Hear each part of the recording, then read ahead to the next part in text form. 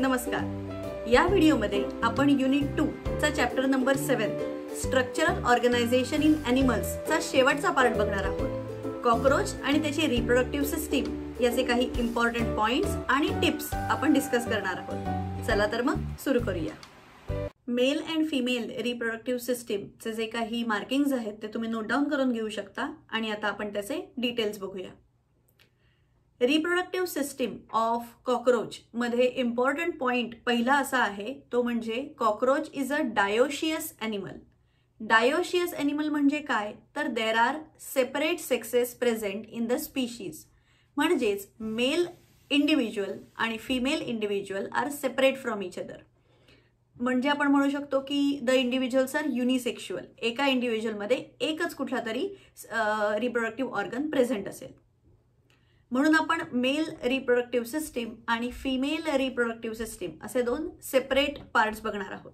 पहिले सुरुवात करूया मेल रिप्रोडक्टिव्ह सिस्टीमपासनं सर्वात important part of male reproductive system आहे तो म्हणजे पेअर ऑफ टेस्टीज हे पेअर ऑफ टेस्टीज हे बेसिकली प्रेझेंट असतात ॲबडॉमिनल सेगमेंट्सच्या साईडला आणि fourth abdominal segment to sixth abdominal segment ह्या रेंजमध्ये या सेगमेंटच्या पार्टमध्ये हे पेअर ऑफ टेस्टीज प्रेझेंट असतात and they are basically lying on the lateral side साईड्सला present असतात ॲबडॉमिनल कॅव्हिटीच्या जर तुम्ही डायग्राममध्ये त्याचं स्ट्रक्चर बघितलं तर ह्या टेस्टीजमधनं वास डिफरन्स हे हा अराईज होतोय. आणि vas deferens is also present in pair कारण पर टेस्टीज मधनं एक वास डिफरन्स बाहेर येतोय.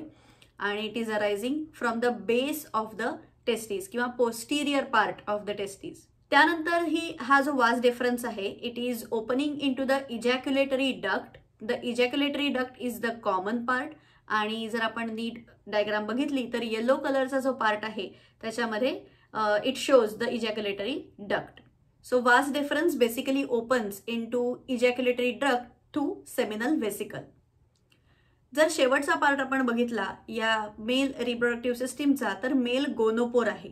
This male gonopore is mainly present on the ventral side of the anus म्हणजे काय? तर एनसच्या लोअर पार्टला हे मेल गोनोपोर प्रेझेंट असतं.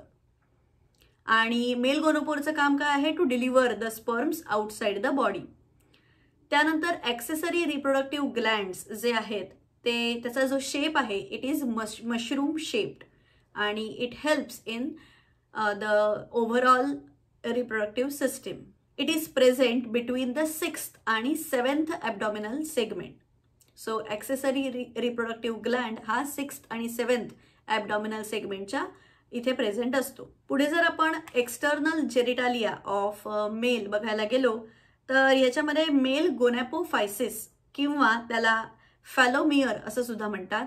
डायग्राममध्ये जर आपण बघितलं तर हे फॅलोमियर सुद्धा दोन पार्ट्समध्ये डिवायडेड आहेत. लेफ्ट फॅलोमियर आणि राईट फॅलोमियर त्यानंतर मेन मेल गॅमेट ज्याला स्पर्म्स असं म्हणतात हा टेम्पररीली स्टोअर केला जातो सेमिनल व्हेसिकलमध्ये आणि हे स्पर्म्स जे असतात हे एका बंचमध्ये ग्ल्यू केलेले असतात. आणि त्या बंचला स्पर्मॅटो फोर्स असं सुद्धा म्हणतात. आता आपण बघूया फिमेल रिप्रोडक्टिव्ह सिस्टीमचे डिटेल फिमेल रिप्रोडक्टिव्ह सिस्टीममध्ये मेन पार्ट आहे तो म्हणजे पेअर ऑफ ओव्हरीज जर आपण डायग्राम बघितली तर डायग्राममध्ये आपल्याला लार्ज येलो कलरचं जे स्ट्रक्चर दिसतंय ते आहे पेअर ऑफ ओव्हरीज आणि याची पोझिशन काय आहे? तर abdominal कॅव्हिटीमध्ये from second abdominal segment to six abdominal segment या चार ते पाच सेगमेंट्समध्ये throughout the this part या पेअर ऑफ ओव्हरीज या एक्सटेंडेड असतात आणि ते त्या बेसिकली प्रेझेंट असतात. जर प्रत्येक ओव्हरीचं स्ट्रक्चर बघायला गेलं तर it is made up of some parts काही ग्रुप्सनी बनलेलं आहे. आणि हे जे ग्रुप्स आहेत हे बेसिकली एट ओव्हेरियन ट्युब्युल्सनी बनलेले आहे. प्रत्येक ओव्हरीमध्ये आठ ओव्हेरियन ट्युब्युल्स प्रेझेंट असतात ज्याला ओव्हेरियन ट्युब्युल्स किंवा ओव्हॅरिकल्स असं सुद्धा म्हणतात. सो आठ ओव्हॅरिकल्सनी एक ओव्हरी बनते आणि असे दोन ओव्हरीज प्रेझेंट असतात इन फिमेल कॉक्रोच बॉडी या प्रत्येक ओव्हॅरिकलमध्ये chain of developing ova present असतात. ओवा म्हणजे एग्ज सो डेव्हलपिंग एग्जची चेन या प्रत्येक ओव्हॅरिकलमध्ये प्रेझेंट असते. पुढे जर आपण बघायला गेलो तर ओव्हिडक्ट्स जे आहेत प्रत्येक ओव्हरीमधनं एक ओव्हिडक्ट अराईज होत आहे आणि these two oviducts fuse together to form a common oviduct किंवा ज्याला वजायना ऑफ कॉक्रोच असं सुद्धा म्हणतात. सिंगल मिडियन ओविडक्ट हे त्याचं टेक्निकल नाव आहे. शेवटचा पार्ट जर आपण बघायला गेलो तर तो आहे spermatheca so the there is a pair of spermatheca present in female cockroach body आणि त्याची पोझिशन आहे sixth segment sixth abdominal segment is the position of this spermatheca शेवटचा पार्ट जर आपण बघायला गेलो तर तो आहे process of fertilisation exactly process of fertilisation कसं होतं? So in cockroach fertilisation internal होतं डेव्हलपमेंट एक्सटर्नल आहे. स्पर्मॅटोफोर्स हे nothing but bunch of glued sperms together आहेत. आणि फर्टिलाइज्ड एग्ज जे आहेत त्यांना उथिके असं म्हणतात. आणि जे बेसिकली डार्क रेडिश किंवा ब्राउनिश असं किंवा ब्लॅकिश कलरचे प्रेझेंट असतात. आणि जनरली फिमेल कॉक्रोच बॉडीच्या व्हेंट्रल साईडला किंवा जे फिमेल गोनोपोर आहे त्याच्या बाहेर हे ग्रुप ऑफ उथिके हे अटॅच्ड असतात. आणि आफ्टर सर्टन टाईम पिरियड हे उथिके हे रिलीज केले जातात in to the external environment आणि मग नंतर त्यांची डेव्हलपमेंट एक्सटर्नली होते. जनरली एट मिलीमीटर किंवा आठ मिलीमीटर थिक एवढा त्यांचा साईज असतो. प्रत्येक फिमेल प्रत्येक वेळेला generally nine to ten oothecae produce करते. आणि प्रत्येक उथिकेमध्ये generally fourteen to sixteen eggs present असतात. सो हे oothecae is basically a container किंवा एक कॅप्सूल लाईक स्ट्रक्चर आहे ज्याच्या आतमध्ये फर्टिलाइज्ड एग्ज प्रेझेंट असतात. त्याच्यानंतर डेव्हलपमेंट जी आहे याला या डेव्हलपमेंटला पॉरोमेटाबॉलस डेव्हलपमेंट असं म्हणतात.